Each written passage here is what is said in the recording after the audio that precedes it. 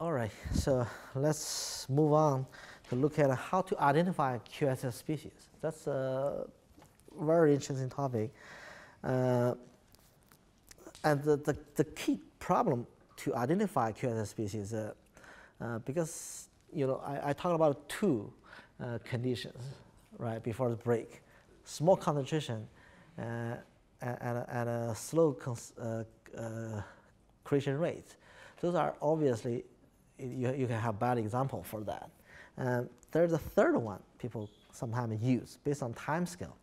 So then we think in the literature, literature if you check, people use so-called lifetime. Lifetime basically is de determined by the, the, the consumption rate. If you have fast consumption rate, whether that's a sufficient condition to define a QSA. QSSA. And here comes a bad example, which is PEA. So PEA give you a counterexample for this. So that means not all the fast reacting species are in quasi steady state. If you look at this example, you get a slow species A form B and C. There's two isomers that can go back and forth very quickly, right? So you, you find B and C are both fast reacting. They have a short time scale, uh, or in other words, they all have fast consumption rate and they have fast creation rate also, right? That's why B and C are in uh, partial equilibrium. But you cannot approximate both B and C in steady state because that will give you wrong solution. Because if you approximate dB is equal to zero, dB dt is equal to dC dt is equal to zero, you will, you will obviously get dB plus C equal to zero, which is obviously wrong because B plus C is formed through reaction uh, from, from this slow reaction, from this one, with a non-negligible rate. Okay, so therefore, if you, uh, if you misidentify a partial equilibrium uh, induced fast species as QSSA, then you will have a large error in your solution. So, so, so therefore, this tells you it's not a, a sufficient condition either to, to see uh, all the species with short time scales are in quasi steady state. So now we talked three criteria. None of them work actually. And the three criteria are all have been used in the past. So, well, as we said, as we said in the skeletal reduction part, so it's not, not always the case if you use bad criteria, you always end up with, with wrong mechanism. But the problem is if you have bad criteria, let's say if you somehow only check the time scale for the species, you identify a subset of, uh, for example, 10 or 20 called quasi steady state, state species. Sometimes it'll work, sometimes it doesn't work, right? But you have to do sensitivity analysis to figure out whether your identification, identification is correct or not. That will cost you a lot of trouble, a lot of time. Okay? So what you want is you want to find a method you can trust. You said, I run this method, it tells you this is the steady state species. You don't have to do the validation. That's, that's very important. So if you can do it, you don't need to do sensitivity. Otherwise, you need to do sensitivity analysis to spend the time. Okay. Uh, so in the following, I will, I will show you one methodology how to identify this. Let me just just just uh, this this one I want to show you. This one tells you uh, if you somehow identify a bad one as a quasi state species, how bad it can be. It give you large error. Okay. So this is an example actually have been used in the previously published paper for methane. For methane, uh, in the literature, you find all different reduced models for methane, right? People assume different QSS species. Uh, so in many cases, people assume, like for example, CH3OH to be state. Sometimes CH2CO, these two state species. But here I plotted uh, the y-axis is the, the ratio, the QSS solution versus the real solution in log scale uh, as x in the 1D laminar flame coordinate. So this, this was computed in the 1D laminar premix flame. So computed with premix, the premix code. Uh, what you can see here is before ignition, this uh, is a bad QSS species. So if you assume it to be in QSSA, you are in big trouble because this will give you a factor of 10 error. So its concentration is totally wrong. Okay, uh, this guy will give you large error away from the ignition point where is the reaction zone located. You see here pre ignition, the fresh mixture, this one give you factor of uh, almost 300, uh, three order of magnitude difference. Uh, post ignition, this one give you two, three order of magnitude error. So, so if you find a wrong QSS species, it can give you very, very large error by orders of magnitude. Okay, so what it, what else it can affect? You you can never know. So you can never, never guarantee. So just just try not to get wrong QSS species. That's the key. Uh, what we do here is basically we, if we want to find a QSS species, we want to make sure there is no PEA uh, giving you the trouble. All right. So because the QSS species, you know it must be fast. Okay. So who can be fast? So if your species is fast, uh, it goes somewhere, go to a sink. It cannot be fast forever. If it gets choked upstream, it quickly goes down the concentration and becoming quasi-steady species, right? But somehow if it goes fast to somewhere and it comes back fast, then uh, it, it may not be in QSS state. So then you look at this A go to B, B and come back to see whether you form some kind of uh, group. This group will give you a slow motion. Okay, so for example, you get two container, container A, container B. If this can go back and forth very quickly, uh, you treat them together. You know, A plus B, their total mass is conserved or is slow changing, right? So therefore, uh, what you can do is, uh, uh if you if you think QSSA, it involves some some behavior. It just no matter what happens, it quickly dies to zero, to small concentration. So every QSS species is a fast mode by itself. Okay, but in PEA, in, in, in partial equilibrium reactions, so each reaction is fast this way or this way. So that means the difference between the two. So A minus B is a so-called a quasi-steady state variable. So A minus B, A minus B must be small because the two containers must always keep in similar level, level, right? But if you put them together, the, the A plus B is slow variable. So a PEA, it has something to do with fast mode. It also has something to do with slow mode. So what you can do is you can do the CSP decomposition. Uh, and you, you, you go through this procedure, this is CSP procedure, right? You decompose the mode into fast mode, slow mode. This block diagonal matrix. And then there's the projection matrix Q, which is A, the, the fast uh, column vectors. This is the fast row vector. This projection matrix tells you, it's like a filter. If you, if you projection, project the rate to mode, what's the percentage go to the fast space? What's the percentage go to the slow space? The diagonal elements of Q tells you how strong the channel is. If you look at the diagonal elements for this matrix, if, if this matrix is not trivial. If, if it's not a, almost zero to the slow space, then the, the, the species must have something to do with the slow modes. So you cannot assume those, those guys in quasi steady state species. So physically, any species, whether it's slow or fast, if it, it has any business to do with the slow space, that's not a good QSS species. So physically that.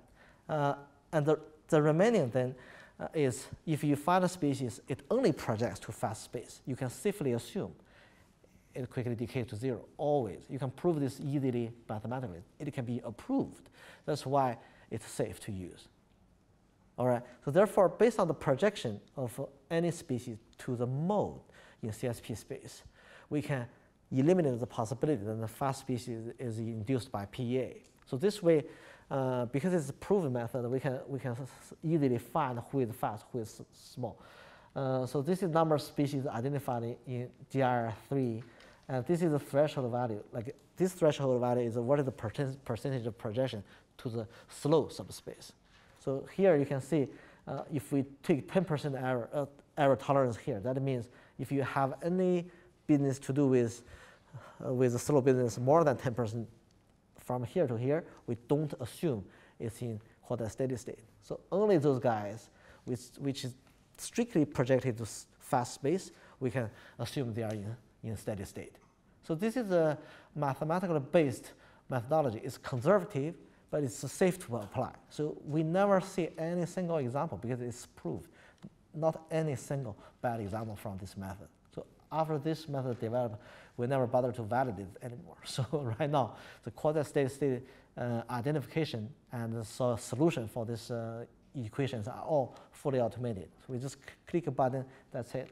So, so right now we just don't validate this after reduction.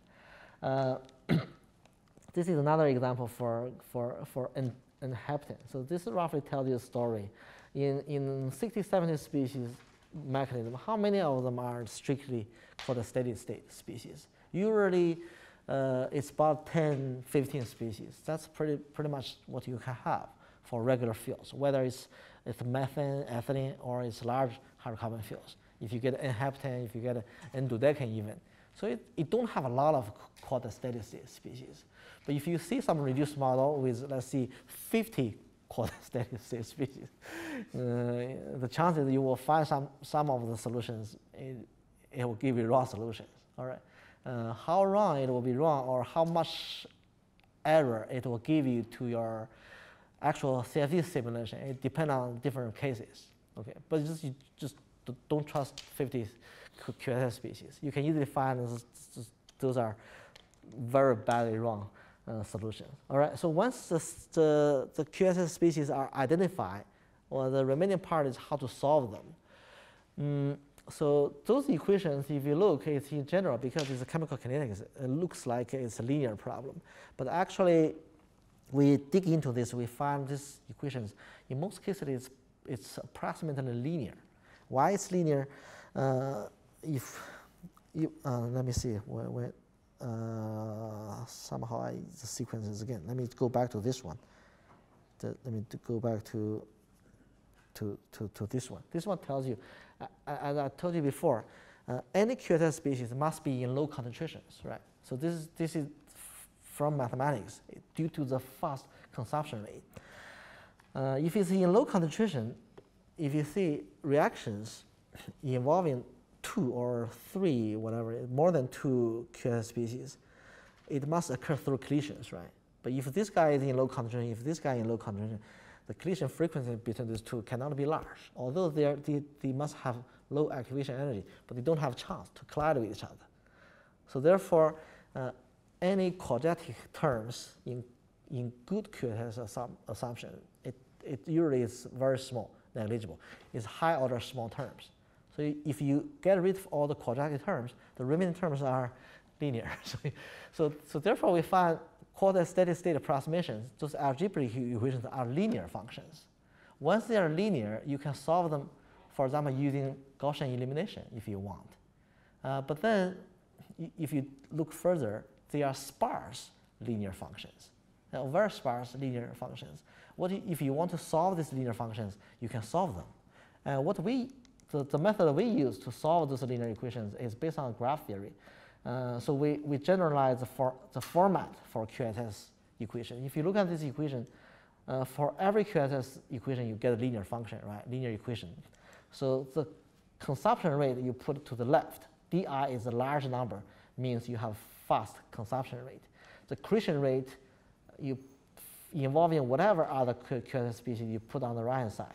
And this is constant time, constant terms which involves non-QSS species. If this one is a constant term involving only major species. So therefore you get a, a general form like this.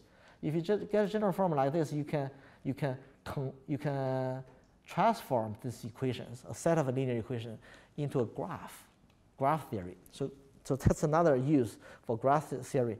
It's like solving this set of linear equation. It's sparse. And what we can do is, you know, in high school when we solve this kind of equation, we use elimination of variables, right? We find uh, a short equation to get rid of first. Uh, then uh, we solve less number equation. We find another variable to do substitution and el elimination. And we can use graph theory to, to automate this procedure by transforming this kind of uh, coupling into a graph. So, so if, you, if you want to solve this guy, if this, if, if this concentration has him and him on the right hand side, you put an arrow here. So, so what you can do here is you can transform this linear equation into a graph like this. So whatever species appear on the right hand side of this guy, you put an arrow there. So that means if you want to solve this, you need the information from him, right? If you want to solve this, you need the information from him. And this is a graph uh, for ethylene, for a, for a 32 species ethylene model. Uh, if you want to solve this through graph theory, an interesting, interesting algorithm we can use in graph theory is the so-called uh, topological sort. The topological sort is, the meaning is, is quite straightforward. For example, if you look at this, this is, this is a diagram showing how the topological work, uh, topological sort work, working. Um, if you, if you, for example, if we get a six QSS species, all right, so their coupling is like this. So you know this one requires this, this requires this, this requires this. These three form cycles. Whatever cyclic coupling forms, you have to solve the group altogether. Okay, so therefore these three guys, you need to solve them as a core. These two are coupled with each other, you need to solve them as a core. And this one is coupled by itself. So, so if you can solve his concentration first, you can solve these two next. And you can solve the third group the third. So therefore, the topological sort, it did two things. Once, it gives you the couple of small groups, and then you solve group by group. Mm, in this, this way, you can, you can systematically derive the, the very efficient solution, almost the efficient, most efficient solution through uh, very, very well established graph theory. So if you are interested in this algorithm, you can look at look at our paper to figure out the details. But this is roughly the idea. It shows you in many cases we can, we can borrow a lot of very good algorithms from discrete mathematics or, or, or uh, computer science to just to help us to solve some of the difficult problems in combustion. All right, and this one we can we can skip. So therefore, uh, if we put skeletal reduction and and QSSA basic reduction together. So basically we can go through all this procedure.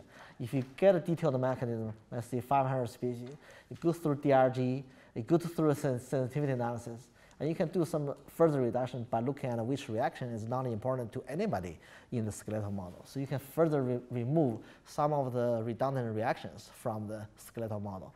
It eventually gives you uh, a smaller skeletal model, let's see with 70 something, something species. This one you just ignoring. It's isomer lumping. We, we, we don't have time to describe this. Then you go through time scale based reduction to find an analytical solution for the equation. So it will eventually give you an uh, analytical solution for a reduced model. So based on QSSA. So, so for this heptane, we got a 52 species reduced model. Uh, so here, here is an example validation result. So uh, if you look at this, this chart, this is PSR extinction. We always validate PSR and autoignition. So this extinction time uh, as function of equivalence ratio for PSR. So PSR is 300 K, K inlet heptane air. And this is extinction temperature. So basically extinction temperature temp and time is uh, the turning point, the turning point.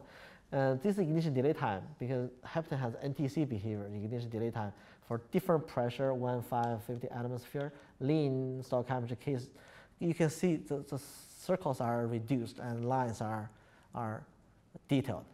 So the uh, agreement is quite good. If you go through the reduction, you know every step we used, you have well-controlled errors. So that, therefore, we can guarantee the final reduced model has the worst case error within the tolerance we specified.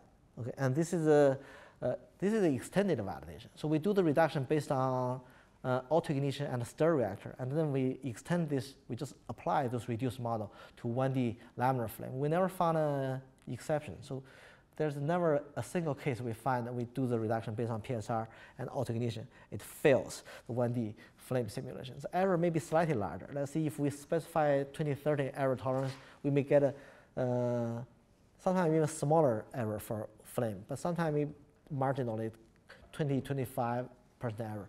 But you, you never get a factor of two totally messed up flame speed, right? And this is, this is flame structure uh, for 1D flame. Temperature profile, O2, fuel, water, CO, CO2. So all these are major scalars in the solution. And these are radical profiles. Again, these lines, solid lines are the detailed, and circles has reduced. You can see if you get a well-controlled error in the reduction process, the solution should be very accurate for both major species and for minor species. Okay. Uh, that will give you confidence when you use this reduced model in other cases. Uh, uh, here are some uh, some of the example applications we have been uh, doing with collaborators. This one we did together with the Air Force contractor.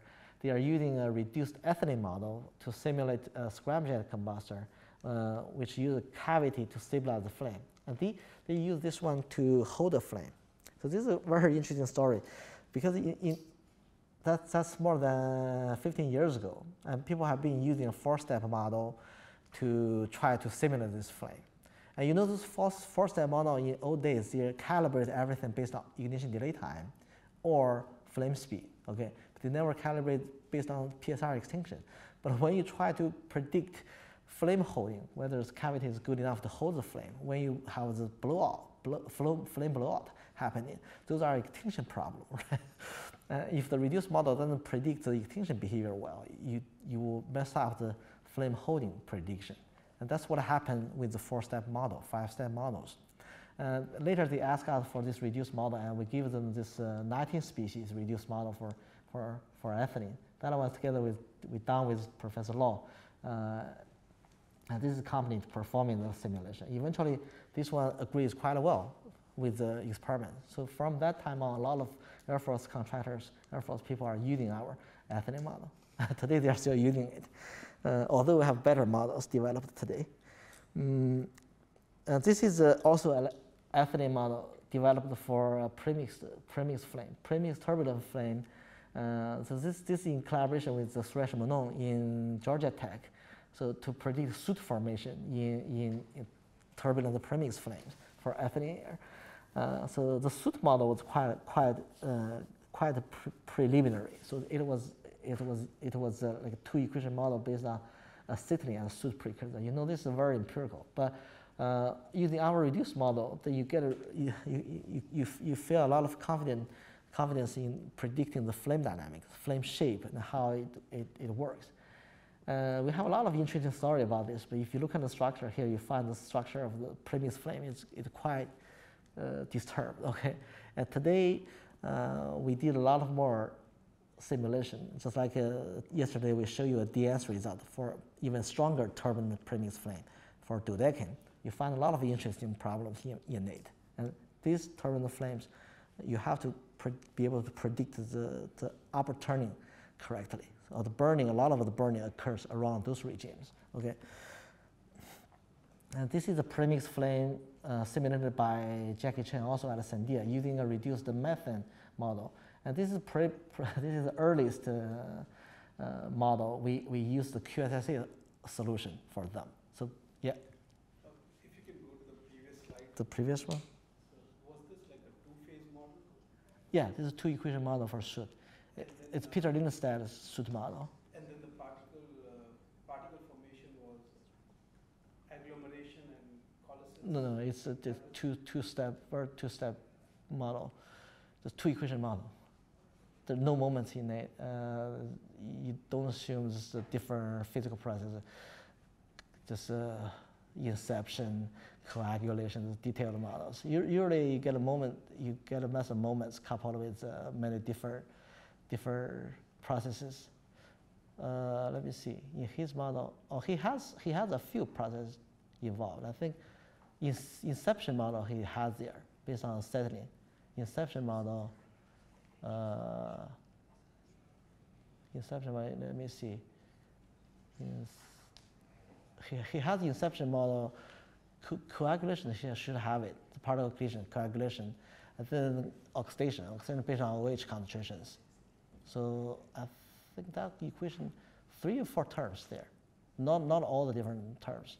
So right, right now, we, we try to use more uh, number of moments. We use method of moments, like we use four or five moments, then uh, coupled with those, this uh, even, even, even more detailed processes, we can get, a, we hope we can get a more physical solution, but still you get a difference by order of magnitude from the experiment.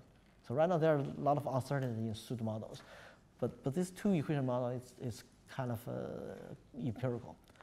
Uh, but this, this, this flame is uh, one of the earliest we did with premixed flame, premixed turbulent flame.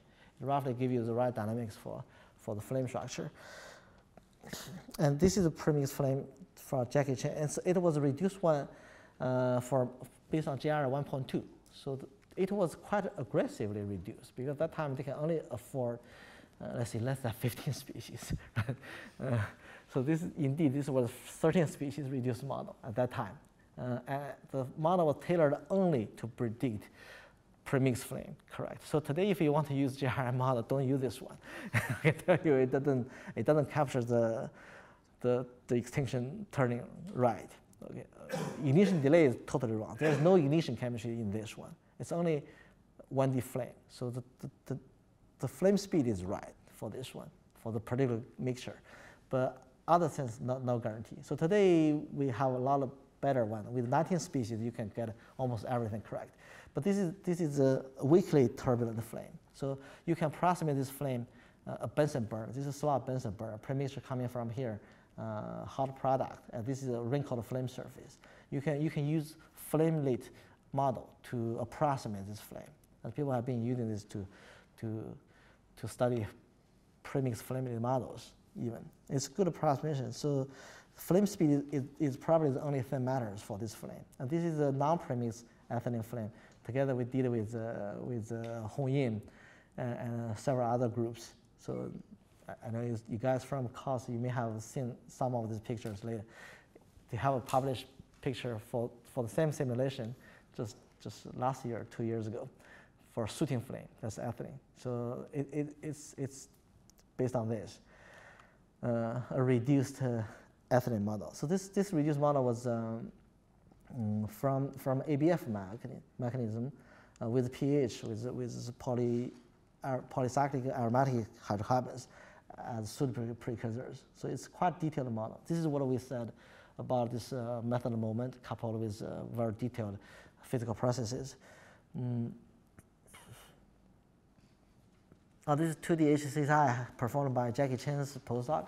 Uh, this is so Trinson did this simulation for HCCI because they want to use reduced model to, to figure out how, how you can control the ignition or, or heat release rate in HCCI applications. If you make non-uniform temperature field, so somewhere ignites first, somewhere ignites next, then you can spread the heat release rate to different time, right? Hopefully we can use this so-called thermal stratification to slow down the heat release. And he ran this simulation but in 2D cases, basically he, figured out a lot of parameters that can, can affect uh, how fast heat release can, can, can change. So, so temperature fluctuation, whatever, all matters. And also uh, in, in this simulation, basically, yeah, if, you, if you look, so equivalence ratio is extremely lean. For HCCI, typically it's 0.3, 0.35, or even 0.2 something. So, so that's typical for HCCI. For such lean mixture, pay attention to the re model reduction. Because if you, if you get a very lean mixture, your reaction tends to slow down. Okay? If it slows down, a lot of the, the slow processes become important. Because if you get a fast chemistry, the slow guys you can throw away. But if you get a lean mixture, you find your model need to be larger. So that's, that's the rule of thumb. So it's more difficult to get a small reduced model for a slow reaction systems. If you get HCCI, that's one difficulty. So, so that's why we, we changed this reduced model from 52 to 58 species. We added a few more species to make sure the linkages are correct. Okay. And this is one we showed um, yesterday morning. It's 2D lifted uh, ethylene jet flame. So ethylene jet premixed uh, injection into co-flowing, co-flowing air. Mm, Oh, no, no, it's, it's, it's non-premix. It's, it's, it's ethylene in, in center, so co-flowing air outside. So you get a, you get a, a lifted flame. So where the lift off point, roughly you can see somewhere the flame is lifted off, right? And this is scalar dissipation rate, mixture fraction, and some radical concentrations for multi concentration.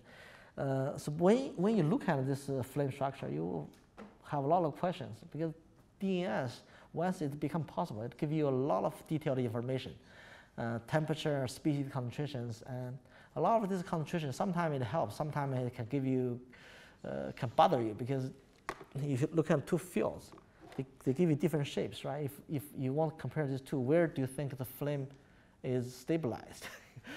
From different plots, you see different pictures.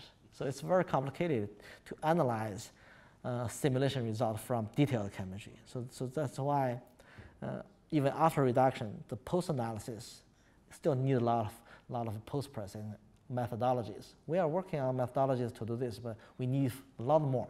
Okay, because today, you know, uh, the computer time, computer power keep on growing. So 1,000 times every 10 years. After a few more years, we get even more time, computer time.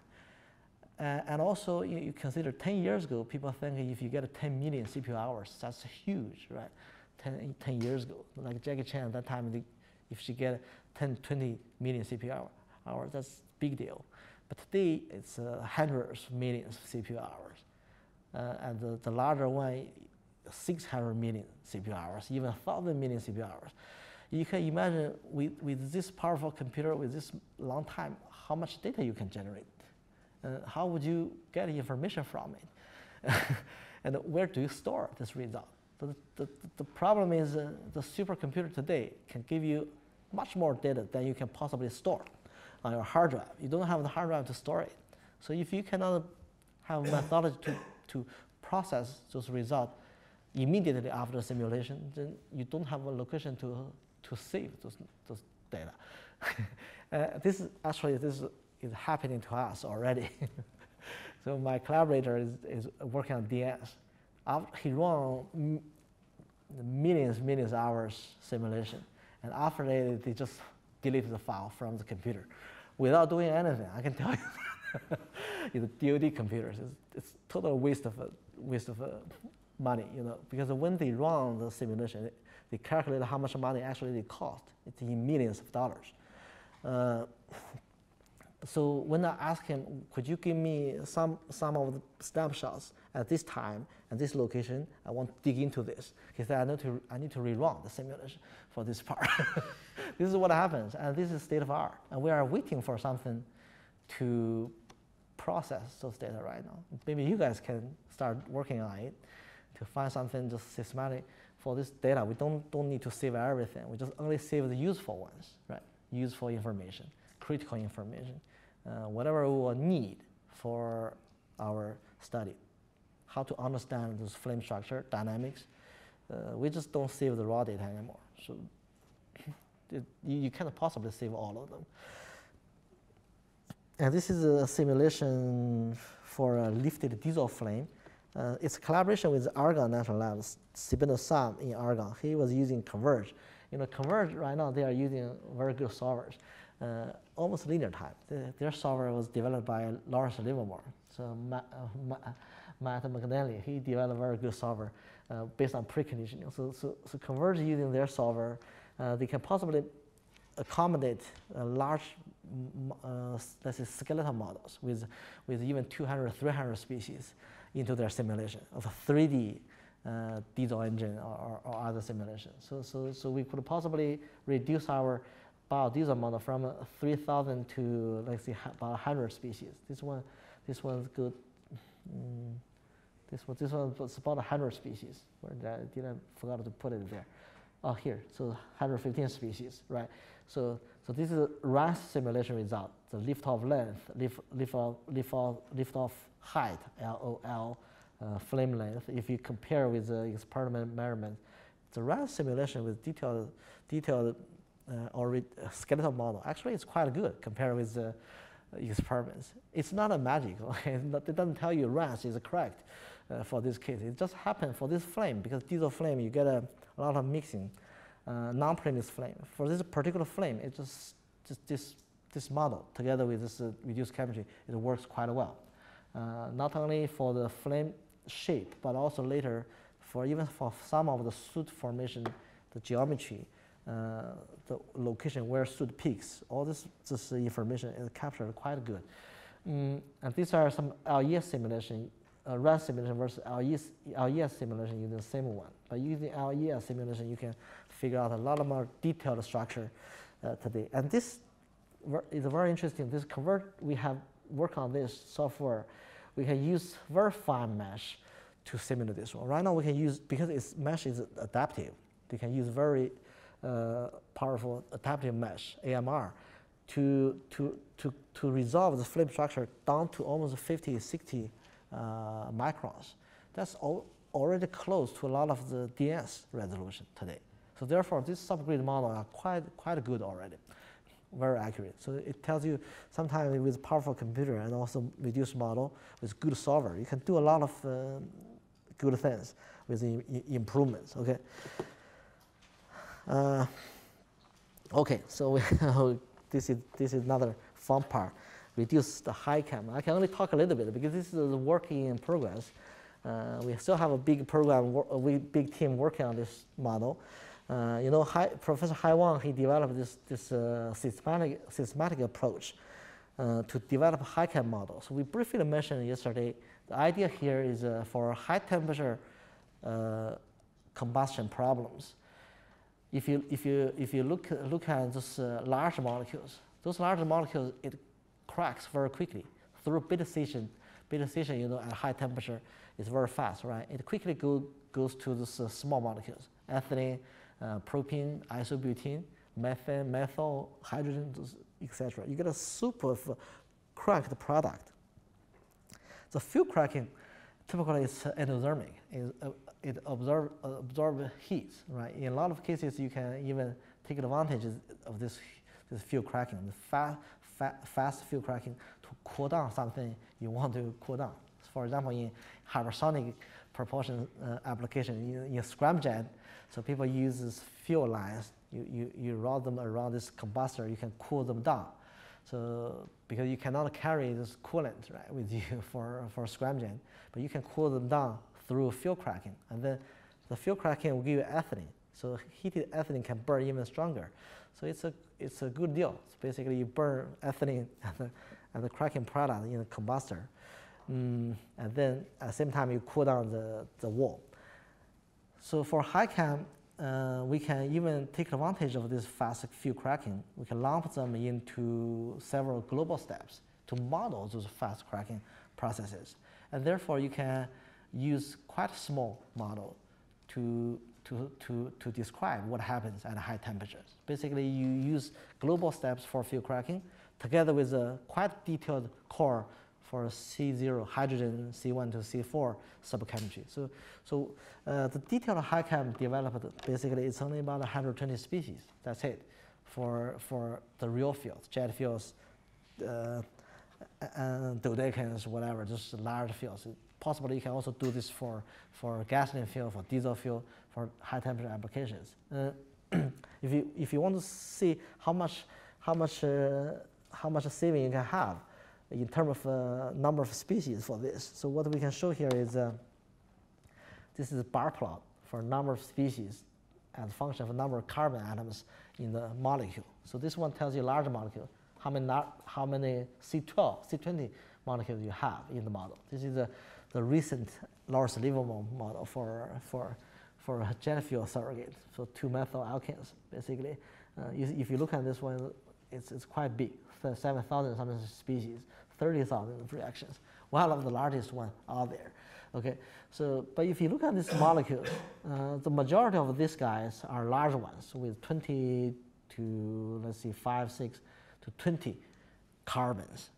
Okay, and these large guys, some of them are fuel. Very small number of them are fuel. Probably get a 20, 30 possible fuel molecules. Okay, but the the remaining part are those fuel radicals, those uh, cracking products, intermediate species. So you, you get a huge amount of them. So several thousand intermediate species for fuel cracking there. All right. Uh, the core for the oxidation for H2, C1 to C4 is only here. It's just the corner with about a few hundred species, that's all. So if you can lump all of this into a large core, of course, of course, this has some, some NTC chemistry here, but even get rid of NTC, you still have a huge chunk of them for high temperature beta scission cracking. Okay, so so if you can lump all of this into uh, one or, or a few global steps, you can you can reduce from several thousand species just go to one or two hundred species. That's all. This is probably the most effective way to do model reduction. So far, we don't have any other reduction which can do such dramatic extent of reduction right, factor of 100 almost, factor of 50, factor of 100. What we did before was from 3,000 to 100. That's already, already dramatic. This one can go from let's say a few thousand go to 100. That's, that's dramatic, okay? Mm, and this is how it looks like, the lumped field cracking reaction. Basically, you get a field molecule.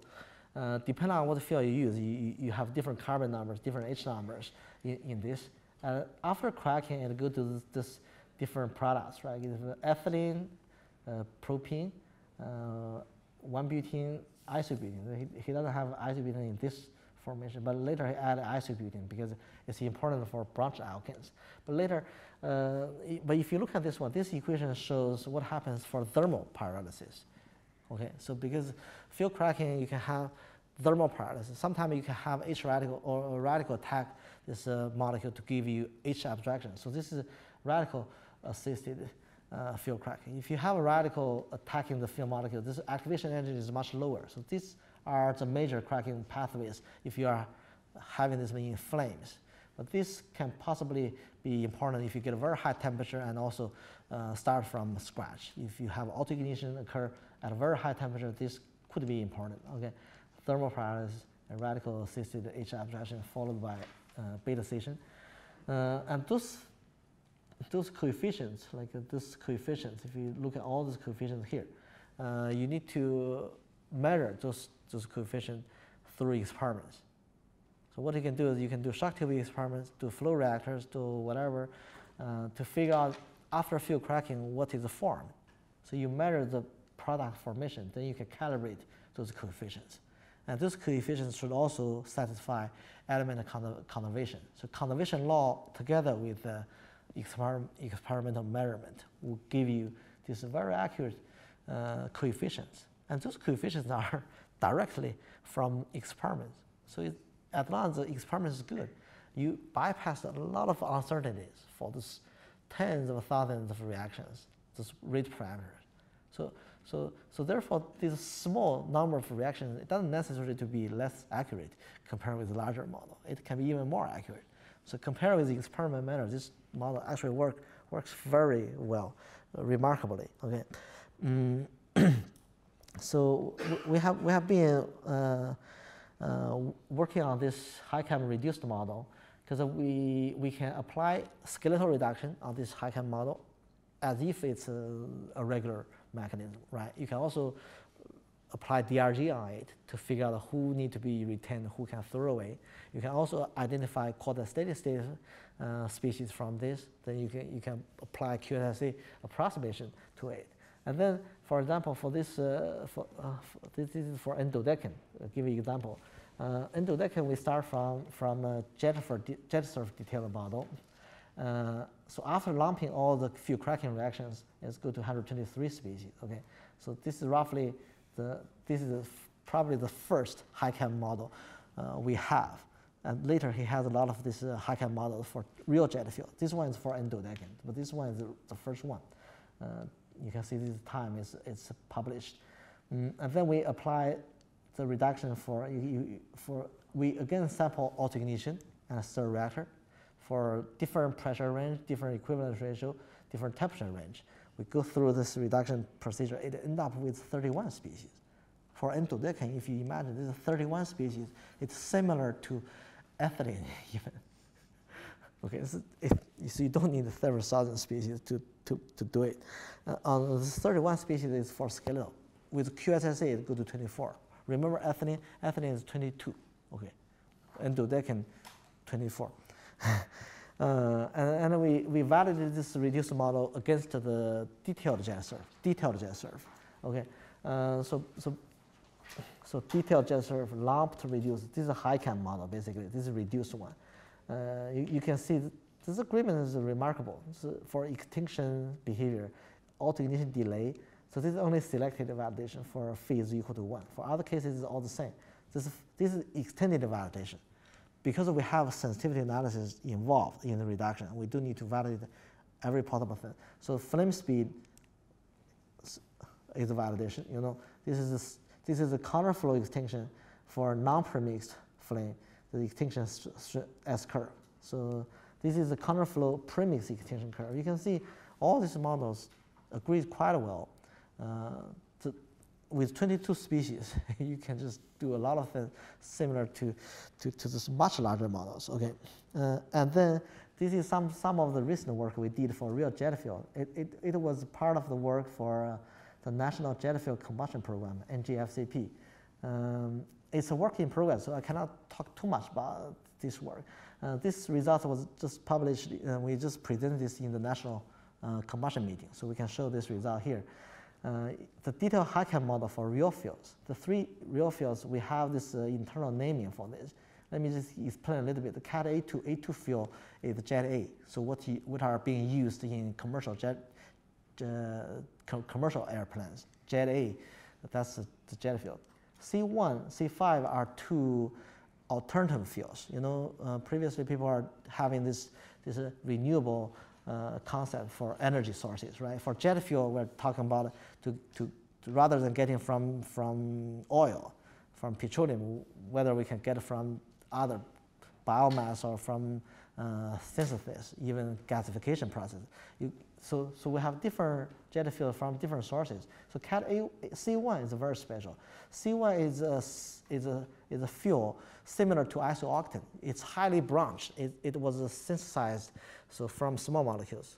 The process gives you highly branched alkanes. So this isoalkanes almost almost is pure, uh, just pure isoalkanes. All right. So therefore, for ignition property, this guy is very different from this guy. The ignition properties are very different.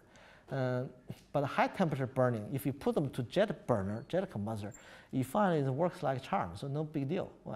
Uh, we explained why this, this is the case in yesterday's lecture, because high temperature burning, uh, turbulent combustion, flame limb blowout is all relevant to the upper turning. And different hydrocarbons, whether it's branched, iso, branched alkane or it's normal alkane, it makes little difference for the upper turning point. They're almost the same. For the lower ignition turning, they are everywhere. So if, you, if your burner depends on the ignition curve, you are in big trouble to change fuel. Okay, if you design your burner running on the upper branch, you, you will be very happy. Okay, uh, C5 is similar in chemistry to A2. The property is very similar, but C5 is also from, from a renewable source. So, so detailed HyChem 119 species. Okay, uh, and this model was, was obtained by calibrating the coefficient against a lot of shock tube experimental data. So done at Stanford in Ron Hanson's group. Uh, skeletal model, you can see for, for this different model, you get about 40 to 30 something species in skeletal level. Reduced one, 26, 31. So it's very small. With 20, 30 species, you can have a real fuel reduced model to put in your CFD simulations. For real fuel, it's not for surrogate, not for N-dodecane, but this is real jet fuel with the real stuff. Okay. Uh, this is a validation, of course. This, this validation is it's reduced versus detailed HyChem. So it's no surprise the reduction error was, was controlled. For ignition delay, PSR, these two are included in the reduction. So this, this, this should be correct. And this flame speed is extended validation. So flame speed, uh, flame, flame speed so for CAT, CAT A2, C1, C5, okay. Uh, so these two are ignition delay for different, three different fuel.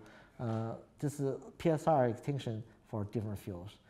Uh, you can see flame speed, of course, agree quite well. And this is our counterflow extinction. Counterflow extinction, this, so these are non, this row is non-premix flame extinction. These are premix flame extinction. So uh, different pressure, different fuels. You can see, you can see the extended validation is also very good. So the lesson we learn here is, is for high temperature combustion, the kinetics is very simple with uh, 30 species, you can do a lot of things. Make, but try not to use one-step model because one-step model you still get five species or even more, and you don't save that much of a computational time, but then the result will be totally wrong. Okay, so this figure shows uh, the, the reduction error. So why we end up with about 30 species? Uh, can we further reduce it? So, so here we showed the, the error curve. Uh, we obtained in the sensitivity analysis step. So remember we, we do sensitivity analysis, we try to throw away somebody, we measure how, how much error it has. So this is, this is what happens. If we get rid of the species, error increase a little bit, increase a bit. So we have the sequence. Uh, every time we do scientific analysis, we, we rank those species. We throw away each individual species to see how much error it gave. And then we sort all those errors. We get rid of the first one. And then we rerun everything we do this again, we get another one. So each elimination with a lot of computation. Okay, um, but then you have this curve. So what happens is you, you find uh, there is a certain stage beyond this, the error will grow quickly. So that is what happens is in the skeletal model, when it goes to about 30, 40 species, everybody is already important. If you look at those species, formaldehyde, you cannot get rid of them, right? Formaldehyde, HCO, uh, CO, CO2. So if you, if you use your hand, you can easily name 20, 30 species. If any of them is gone, you will see big error somewhere come, comes out, somewhere. Okay, so that's why uh, at a certain stage, if you start deleting more species, you will get a jump in errors. That's when you know you should stop. No further reduction. So we, we stop here for A2, stop here for C1, stop here for C5.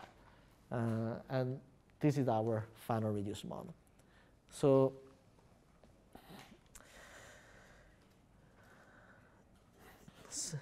uh,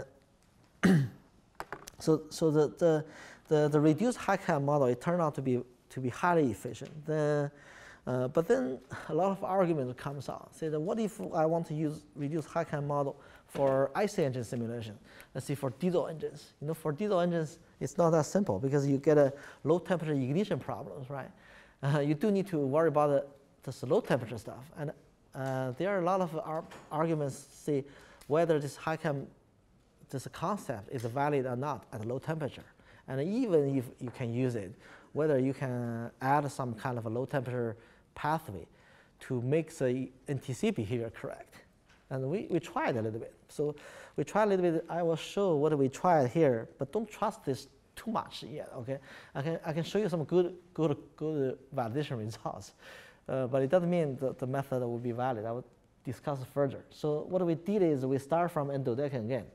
Uh, so this Yao, the Tong Yao, he, he, visited me uh, about two years ago. He worked on this project re reduction for this uh, it's based on HyChem chemistry, the Jetsurf reduced model, but also he added the lumped NTC chemistry. He used, uh, uh, the, he used about the, the 10-step semi-global model for NTC from the previous liter literature. So, so Norbert Peters just lumped NTC steps. And then what he did is he tuned those NTC read parameters, try to make the ignition delay correct. Okay, so it's, it's, a, it's like a, a reduction together with tuning. So whether we can make, make a, some kind of hybrid model which can predict N-dodecane for both high and low temperature. Uh, uh, let me show you the, the size. So detailed model, of course, uh, the previous one, you know, uh, Jetsurf about 190 species, right? So he, he for, for, for the C, C0 to C4 chemistry, it about, about 30 species. But he needed to add a few, a few intermediate species to take care of the NTC chemistry in the HyChem. So, so therefore, these are added, about 18 species. And NTC substeps are, are lumped, semi-global.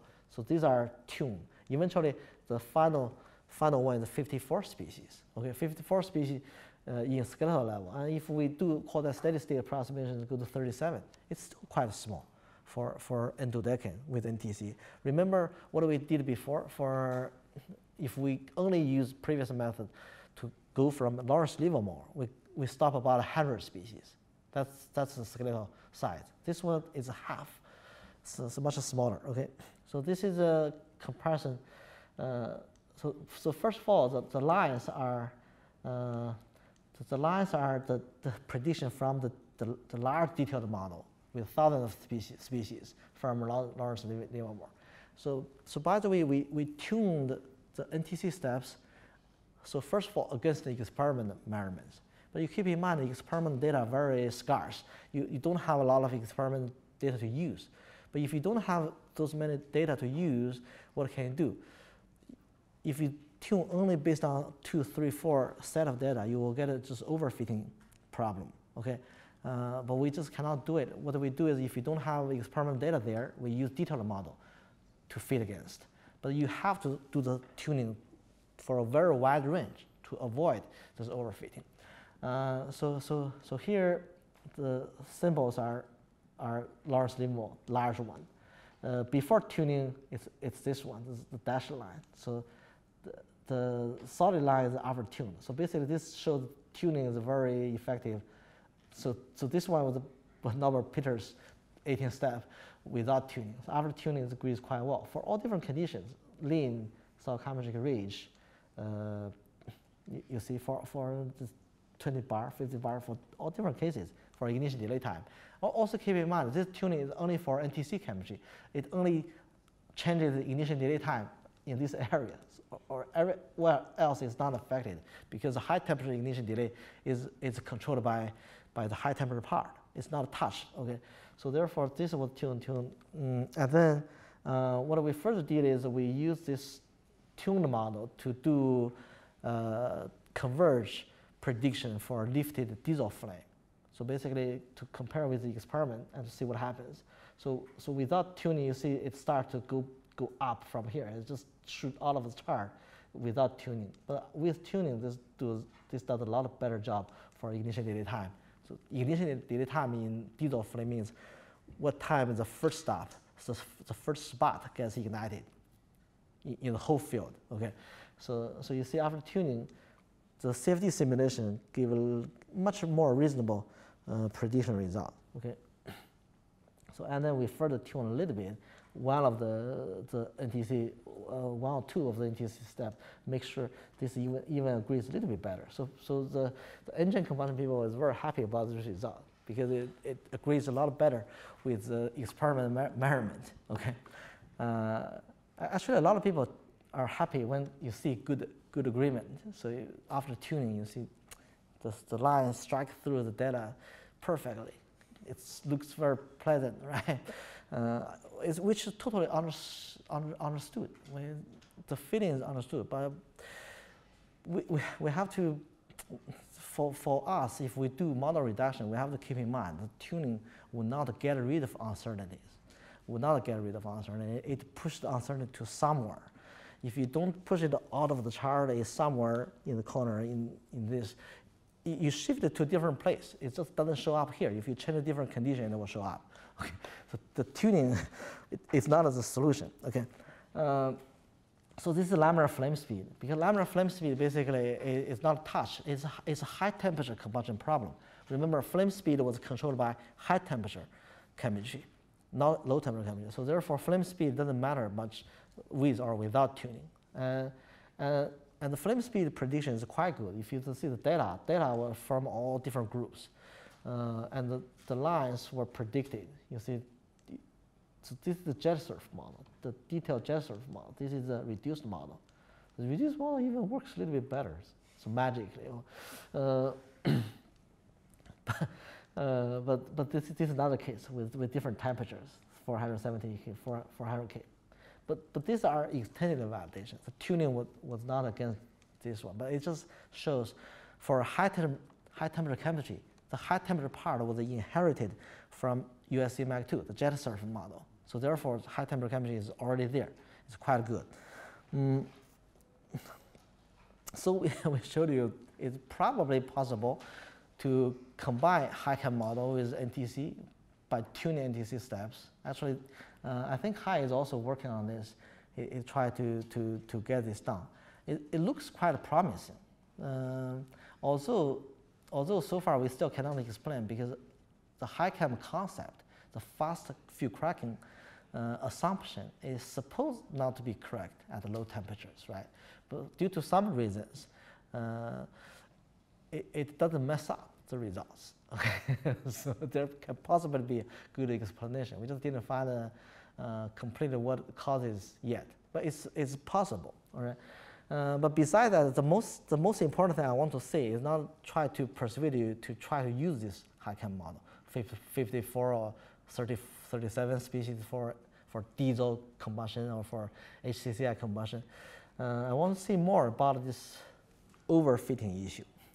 So the overfitting issue probably I think is I would give it number two, number one or number two. Let, let me talk about this after this break. Okay, let's take a 15 minute break. Then we, we discuss this very important topic uh, when we come back.